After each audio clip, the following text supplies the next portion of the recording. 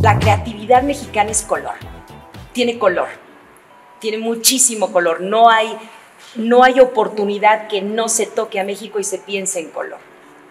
Entonces, dentro de mi ambiente, que es la danza clásica, no puede ser bicolor, tiene que ser pancromático, tiene que tener muchísimos colores.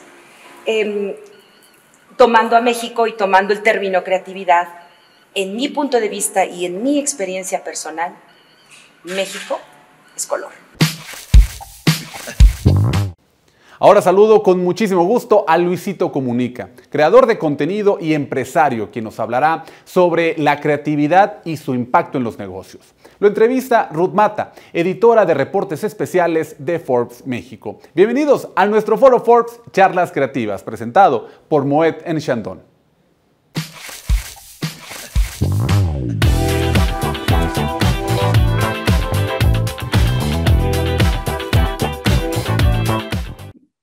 ¿Qué tal amigos de Force México? Yo soy Ruth Mata, editora de reportajes especiales para la revista Force México y les quiero dar la bienvenida. Estamos muy contentos porque está con nosotros Luisito Comunica. Muchísimas gracias Luisito por estar aquí con nosotros, eh, aquí en esta charla, que bueno, la vamos a realizar en el marco de nuestro foro Forbes, charlas de la creatividad. Muchísimas gracias por estar con nosotros, Luisito.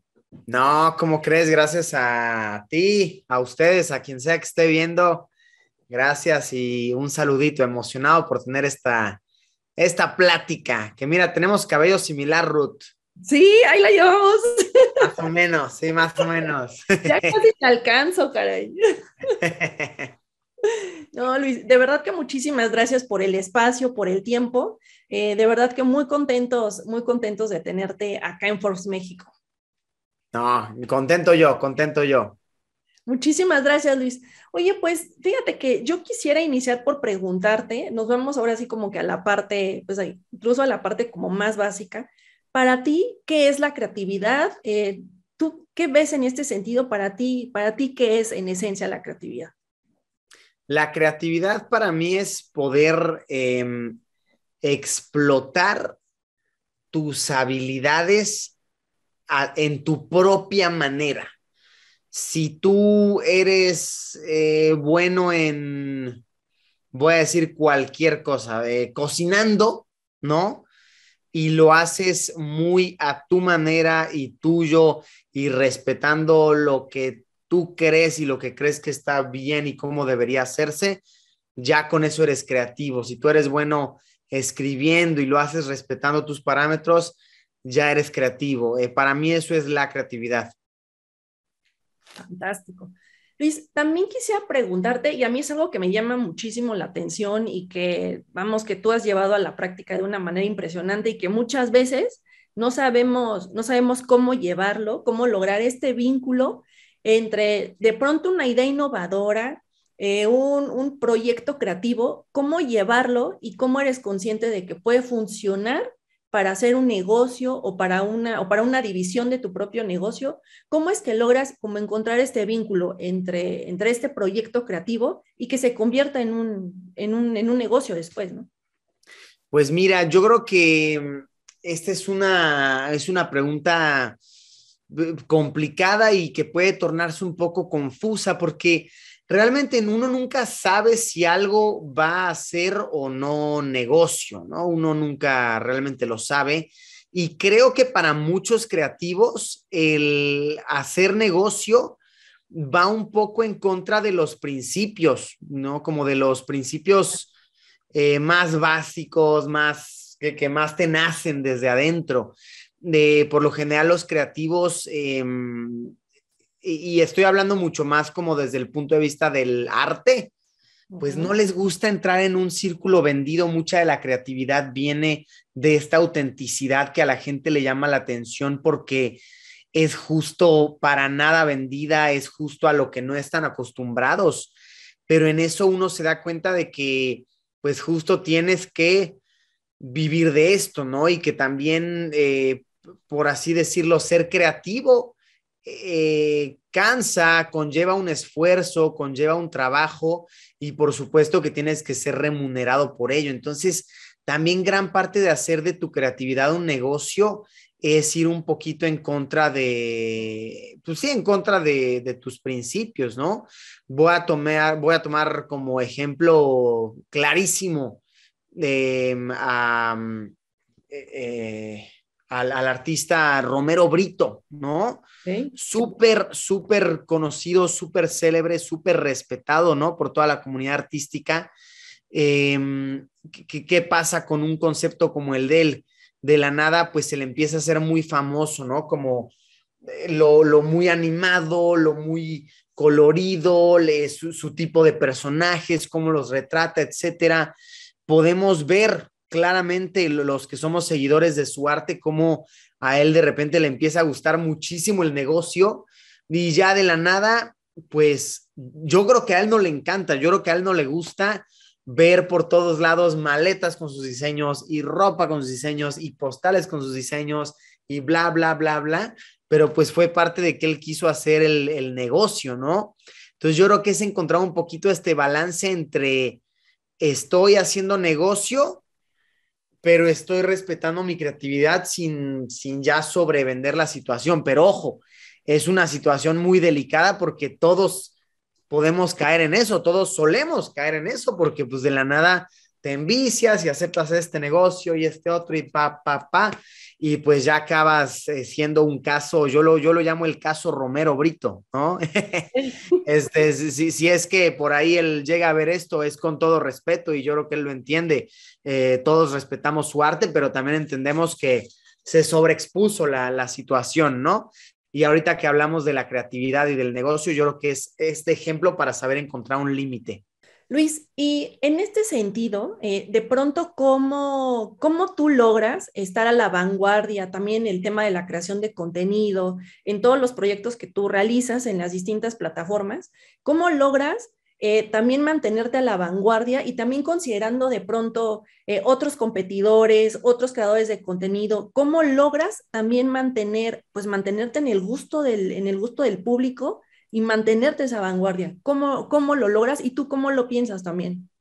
Pues mira, es, yo creo que es súper difícil esto de mantenerse en el gusto general. Eh, hay veces que uno siente eh, como personalidad pública, también como eh, en el mundo de los negocios y demás, de repente uno dice, wow, como que en general ya no, vaya, como en todo hay días que uno dice ya, ya no le caigo bien a nadie, hay veces que dices ya le caigo bien a todos, eh, es bien raro y la verdad es que todo el mundo de negocios, lo diré así como tal, fríamente, es tóxico, es muy, muy, muy tóxico porque es un número que es, perdón, es un mundo que se rige enteramente en los números, ¿no? En los números, en las estadísticas, en las gráficas. Entonces se vuelve bien, bien tóxico y ahí es cuando uno de verdad, voy a decirlo como tal, admira, pero realmente no es una admiración, simplemente se sorprende de cómo las grandes compañías pueden mantenerse como tal y entiendes también las frías decisiones que se toman, porque en el mundo de los negocios caes em, y vaya, voy a poner en el mismo estándar a los negocios y a la popularidad, que la verdad es que son son lo mismo, son, eh, sí, sí, sí, si lo pones en, gráficas, en estadísticas, son lo mismo, que siempre tienes que estar buscando los números verdes, ¿no? Pero la realidad es que a veces lo que te trajo números verdes luego ya aburre al público o a los compradores, clientes, como quieras llamarlos. Entonces tienes que acudir a otras técnicas para seguir buscando el número verde y número verde y constantemente estar viendo las gráficas y las ventas.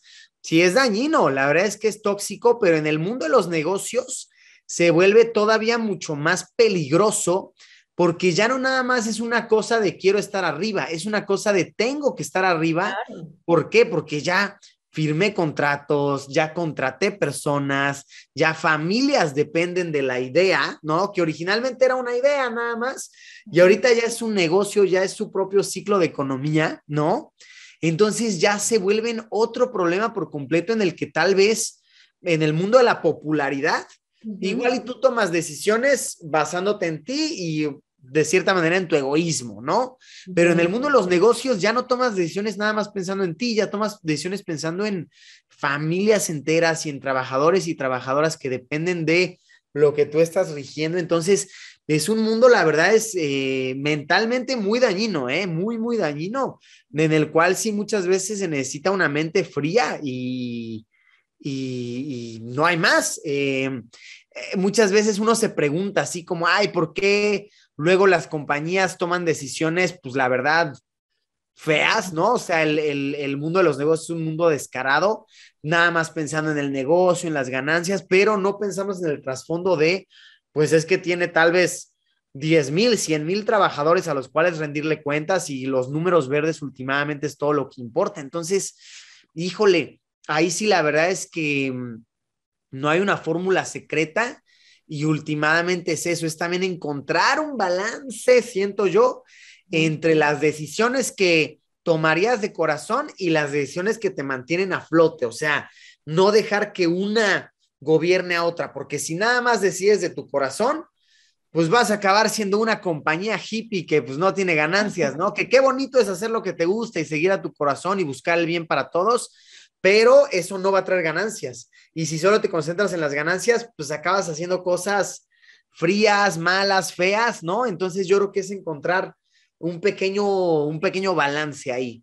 Muy bien, muchas gracias. Luis, también quisiera preguntarte justamente cómo convives con esta parte, porque como creadores de contenido, como generadores, pues de esta expresión artística, como tú bien dices, de pronto estamos como en esa parte romántica en la que dices, eh, veo los resultados y sé que únicamente me impactan a mí, pero cuando empiezas a tomar como esa responsabilidad de decir, híjole, ya no soy solo yo, tú, en tu caso, ¿cómo aprendiste a convivir con esa parte o cómo, o no te costó trabajo o incluso alguien, eh, alguien fue tu mentor en esa parte? ¿Cómo has manejado esa, pues ese cambio, esa transformación?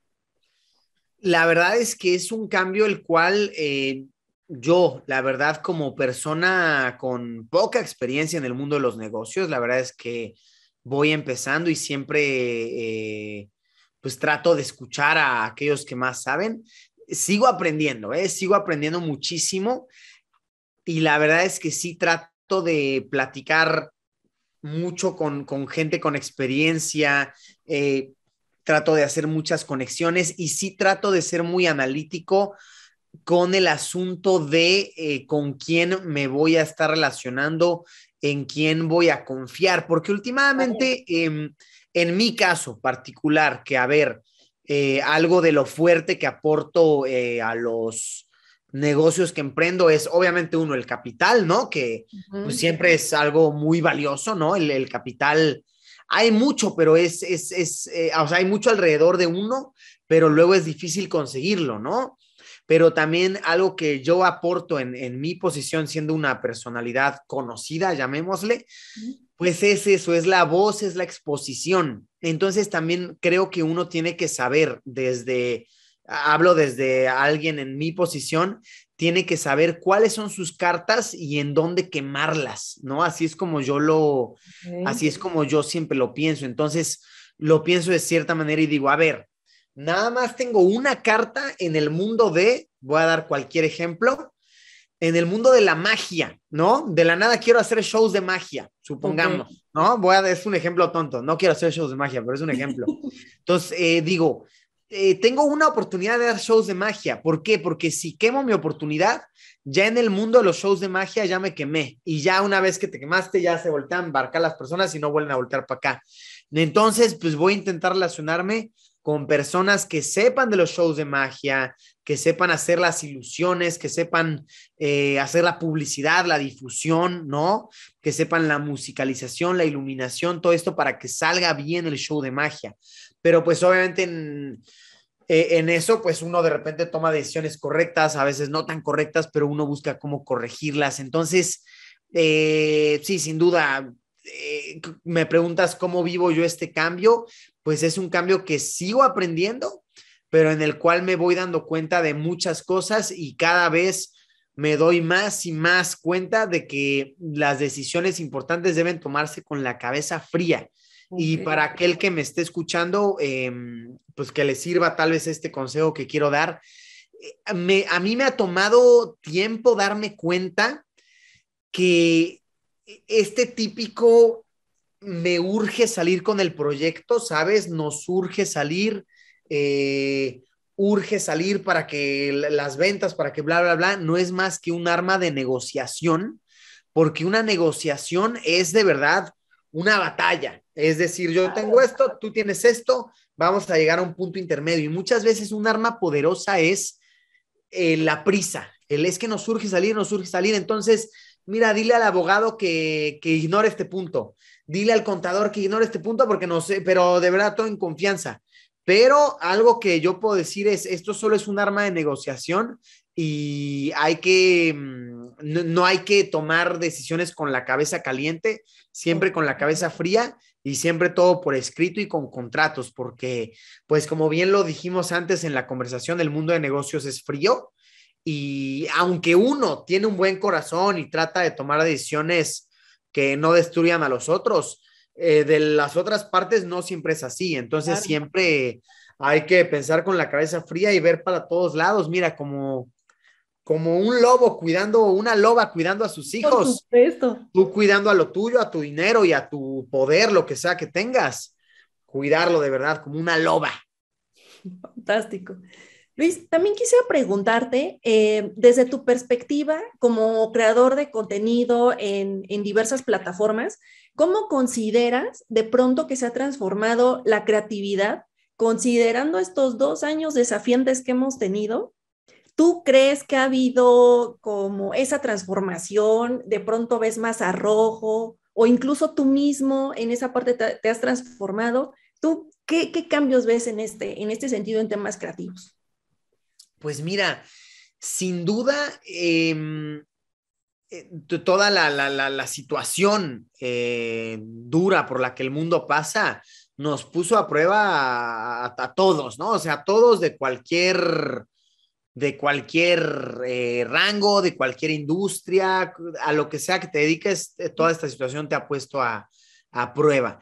En cuestión de la creatividad, yo creo que ha sido saber entre comillas, aprovechar este, eh, todo este rollo, ¿no?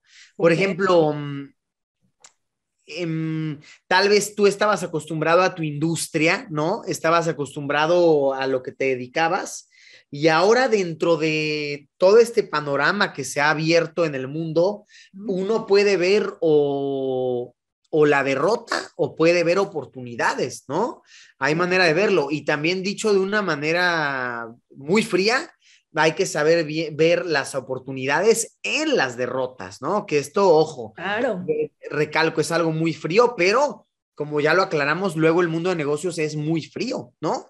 Eh, eh, por ejemplo, ahora que yo me involucraba en el aspecto restaurantero, eh, he aprendido que cada que salen los nuevos semáforos y los cierres y bla, bla, bla, uno tiene que de verdad verlo de manera creativa, ¿no? Entre comillas, y decir, a ver, eh, si yo resisto este nuevo semáforo que impusieron, que hoy por hoy, a la fecha en que tú y yo grabamos esto, esto ya no pasa mucho, pero hace seis meses pasaba cada dos semanas, así ¿Sí? que ya puedes abrir y en eso ya no y ahora sí, pero hasta las 6 de la tarde. Y en eso, eh, ¿qué crees? Ahora a las 10 y pum, pum, pum. Entonces, muchos negocios de verdad que no pudieron con todos estos cambios y con todas estas presiones y eh, pues decayeron, ¿no? Entonces, una manera como tal vez eh, uno lo puede ver es, a ver, si yo no decaigo ahorita y me pongo creativo en mis ideas y pa, pa, pa, y sigo sobreviviendo, el día de mañana que ya podamos abrir al 100, pues tal vez, y estoy dando un ejemplo, tal vez en, en, en algún momento éramos ocho restaurantes que vendíamos comida tailandesa, ¿no? Okay. En la zona, pero para cuando acaba esto, quebraron seis y ya nada más somos dos. Entonces, realmente los que fuimos más creativos en nuestro sistema de apertura y nuestra manera de vender y etcétera, resistimos entonces estamos viendo la recompensa al final de, pues, del huracán, llamémosle, ¿no? Una manera fría, yo, yo sé, pero pues es, es, es lo que es, ¿no? Y es también como se pone a prueba la creatividad aplicada en los negocios. Ahora, en la, mm, en la creación de contenido, ¿no? También tú me preguntabas de esto, pues aquí es muy diferente. Em, yo diría que cada quien adaptó su manera de hacer contenido a su situación y a sus oportunidades, ¿no? Em, en mi caso, por ejemplo, yo, eh, yo me tengo una gran audiencia por hacer videos de viajes, por dedicarme a esto, ¿no? Eh, ¿De qué manera entonces, si no puedo viajar, sigo llamando a mi audiencia, ¿no? Entonces, en mi caso, y hablando egoísta, desde mi punto de vista, muy egoísta, porque a mí siempre me choca hablar de los retos, muy entre comillas, retos que yo afronté, porque me pongo a pensar en, wow, la persona que tiene una panadería, ¿no? No manches, sus retos son, son una guerra mundial comparado a mi, a mi pelea de bar callejera, ¿no? O sea, no, no podría jamás llamarlo un reto pero tal vez las situaciones a las que yo personalmente me afronté, me acuerdo que a principio de pandemia, que de verdad todo el mundo estaba muy friqueado y muy asustado y que de verdad te veían afuera en la calle y eras target de hate, ¿no? Así de, no, él está afuera en la calle y él es la, el culpable de la pandemia. A mí eso eh, profesionalmente me costó trabajo porque te, digo, gran parte de mi contenido era, bueno, es, es estar en la calle y estar viajando y estar exponiendo. Entonces, para mí la verdad sí fue todo un reto así como, wow, a ver, soy un blogger de viaje, ¿no?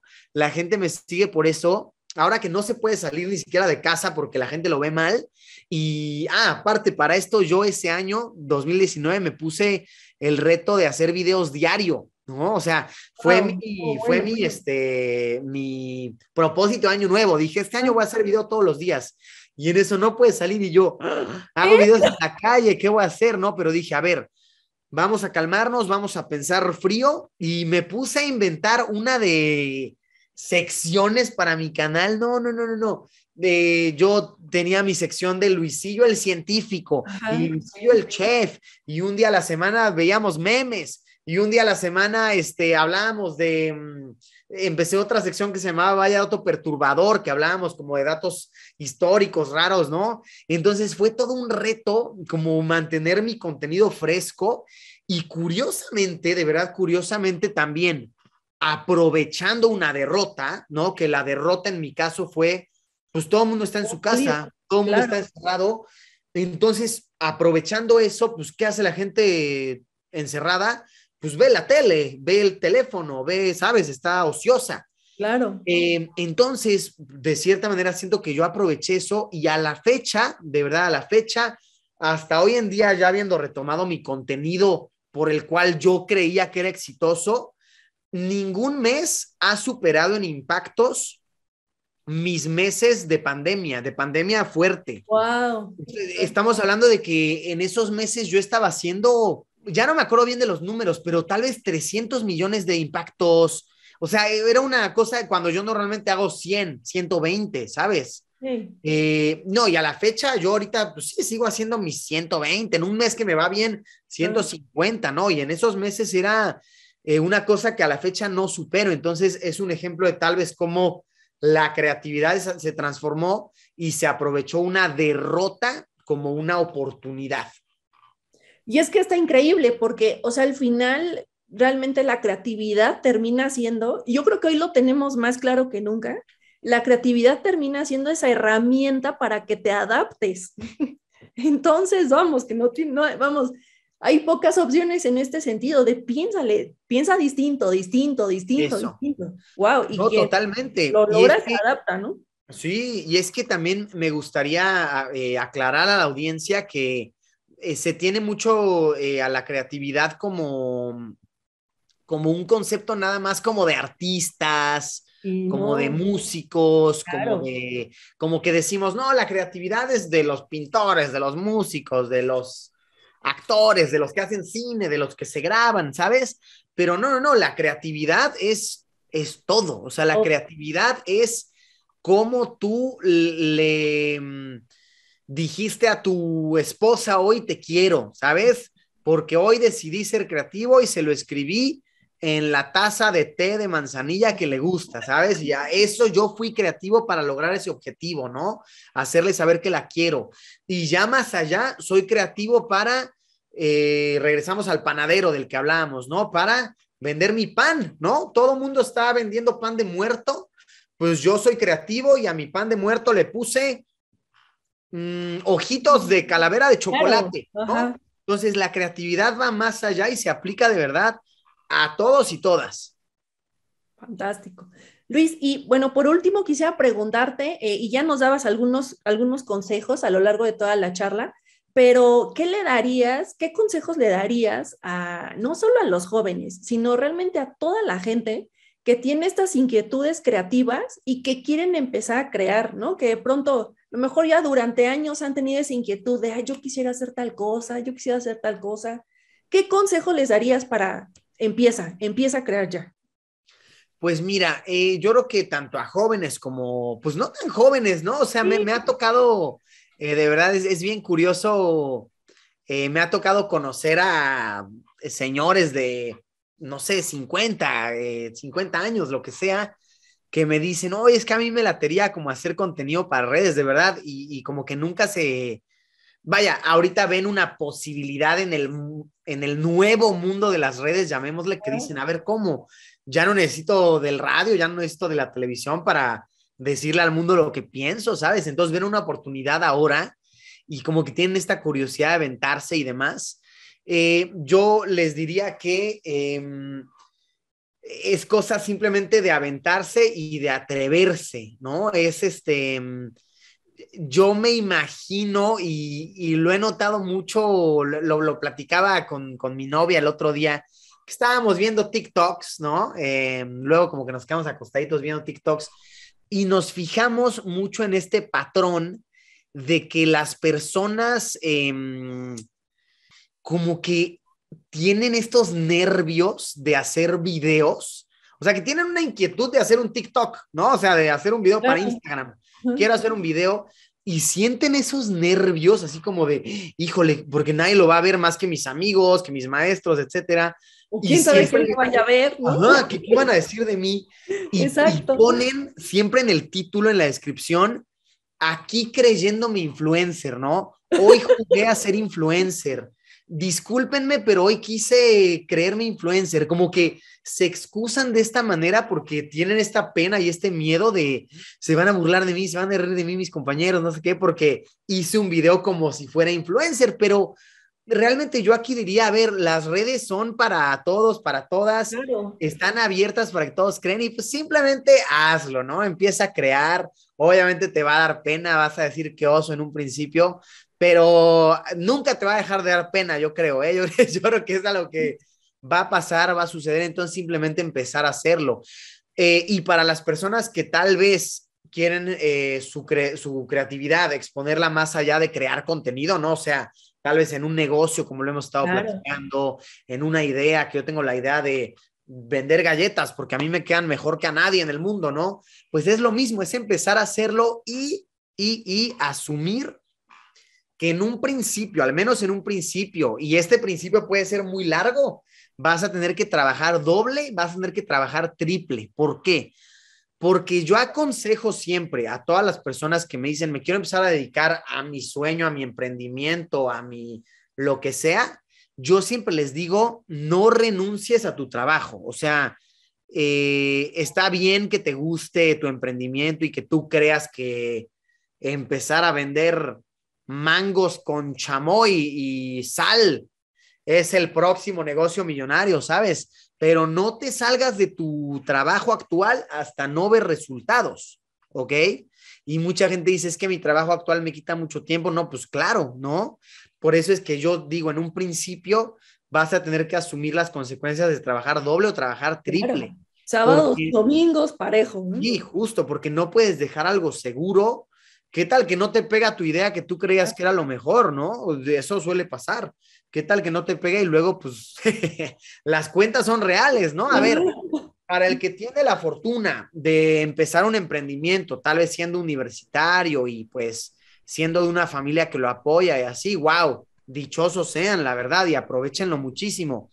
pero la realidad es que el mundo es bien frío y las cuentas tienen que pagarse y pues y el banco por cada mes que te atrases te va a cobrar el 18% de intereses, ¿sabes? El mundo es bien frío. Entonces, hasta que no lo veas seguro o semiseguro, pues no renuncies a ese trabajo que te está pagando las cuentas y que te está manteniendo ahí con la tasa mínimo de intereses, porque las deudas son frías, los bancos son muy, muy, eh, eh, muy fríos, eh, no les va a importar. Entonces, hasta que no lo veas medio seguro, no renuncies a ese trabajo.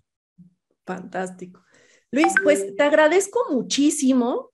no sé si tú quisieras agregar algo más o enfatizar por ahí en algún punto. Tú dime. Pues em, no, yo creo que se cubrió bastante bien. Yo creo que fue una, buena plática. Espero que a quien sea que la, haya escuchado le sirva de algo, ¿no? Para, para emprender una idea de manera inteligente, porque creo que es eso. O sea, y, ah, mira, ahora que me pides recalcar un punto, tal vez ese es el punto. Eh, lo que sea que emprendas, trata de emprenderlo de manera inteligente, ¿ok?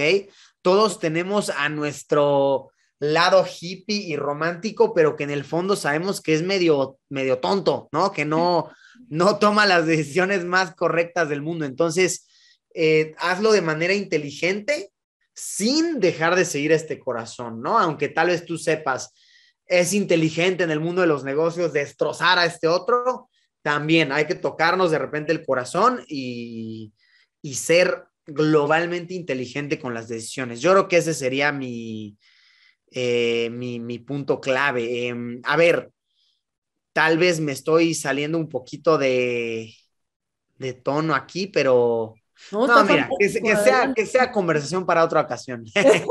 Simplemente, sí, eso, actuar y tomar decisiones de manera inteligente. Fantástico. Luis, pues te agradezco muchísimo, de veras que muchísimas gracias por esta participación, por esta charla, eh, está padrísima. La verdad es que el trabajo que tú haces es, se nota que es de corazón, que es de mucha pasión. Muchísimas gracias por, esta, por estos minutos. No, como crees, gracias a ti, Ruth, y sobre todo gracias a, a Forbes por, por este espacio y mm, sobre, sobre todo, Gracias a las personas que hayan visto esto. Esperemos que les haya servido de algo y les mandamos un abrazo y las mejores vibras.